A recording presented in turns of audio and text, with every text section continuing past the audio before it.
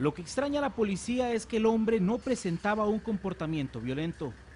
Ahí lo detuvieron la tarde de este lunes, después de robar un bolso. A nosotros nos ingresó un incidente de un muchacho que ha cometido un hurto, ¿verdad? La policía inmediatamente reacciona y es este, aprendido, eh, se coordina con la fiscalía y dice que se pase por lo que es el proceso de flagrancia, se llama a la víctima, se está haciendo el informe policial, cuando ya vamos a trasladar al sujeto este hacia la fiscalía, este, nos damos cuenta que él dentro de la celda ya se había autoeliminado. Los hechos ocurrieron en las celdas de la delegación de San Rafael de Heredia.